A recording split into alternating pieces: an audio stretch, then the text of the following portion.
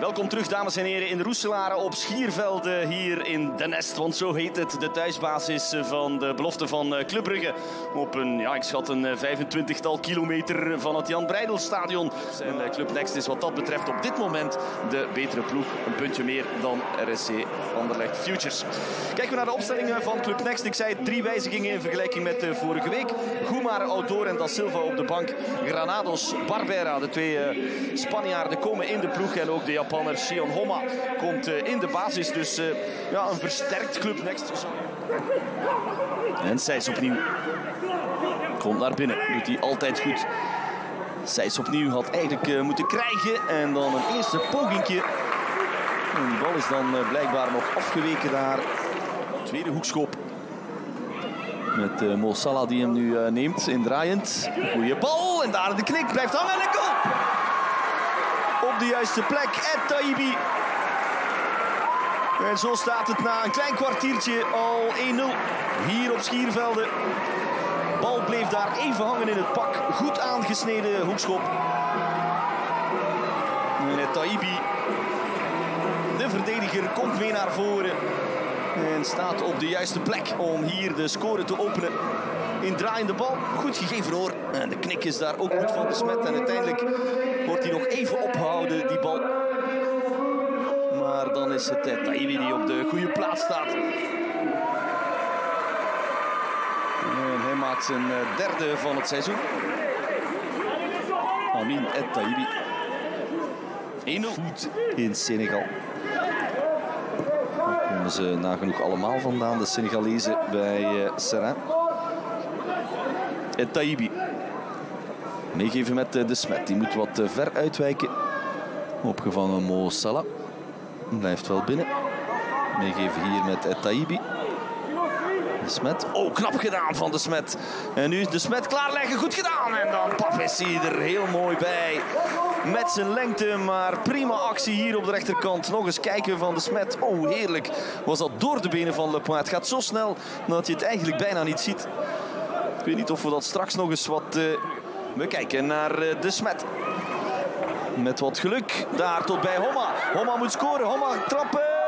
Nee, legt ernaast.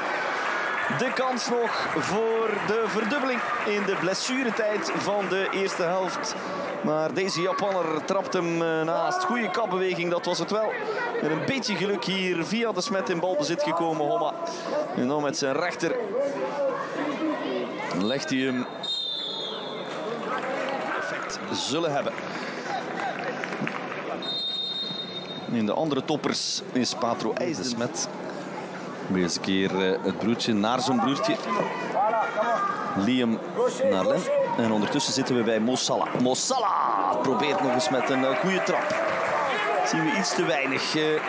Dat soort dreiging willen we toch ook graag zien van Club Next. Daar is Mossala nog steeds. Mossala. En nu wel de mogelijkheid voor Furo. Die kan alleen op uh, Papesia Furo. Nee, hij legt hem naast. Dit was de mogelijkheid voor de invaller om hier te verdubbelen en de wedstrijd uh, helemaal te beslissen. Want dat zou het dan toch wel geweest zijn. Mossala goed met zijn lichaam gewerkt. Prima in de loop gegeven van de ingevallen Furo. Maar die had het moeten afmaken. Legt hem wel naast Papessi. Maar niet tegen de netten. De verkeerde kant van de paal. En zo blijft het 1-0. En dat moest toch wat doortastender dan. Club Next.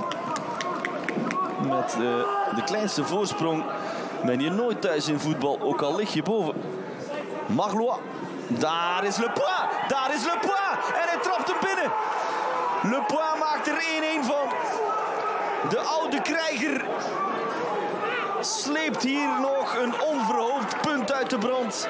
Want daar mogen we toch van uitgaan, denk ik, met z'n tienen. Nadat Drunle rood pakte. Is het oude getrouwe Christophe Le Point die hier zowaar waarschijnlijk nog wel een punt mee naar Luik zal nemen. Onwaarschijnlijk is een onwaarschijnlijk slot. Outdoor in draaiende bal. Zie met de vuisten. De bal blijft daar nog even hangen. Daar is Outdoor nog. Outdoor krijgt hem niet voor. Er komt nog een hoekschop. Het is nog even warm voor het doel van Papessi.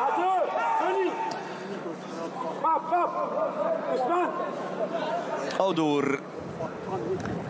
Een beetje met de wind mee, want uh, die komt van achter het doel van Papissi. Hoge bal. En hij pakt hem. Uh, dat is dan zijn voordeel met die meter 95. Dat hij al al makkelijk die bal kan plukken. En daar is uh, het eindsignaal. En de handen in het haar bij Club Next. Want uh, zij beseffen dat ze hier altijd de drie punten moeten pakken. Maar in extremis is er dan toch die vermalendijde Christophe Lepoix. Die hier Serrain nog een uh, punt schenkt, zeg maar. In uh, een van de weinige, zo niet de enige echte kans van Serrain deze wedstrijd. En die ging er toch...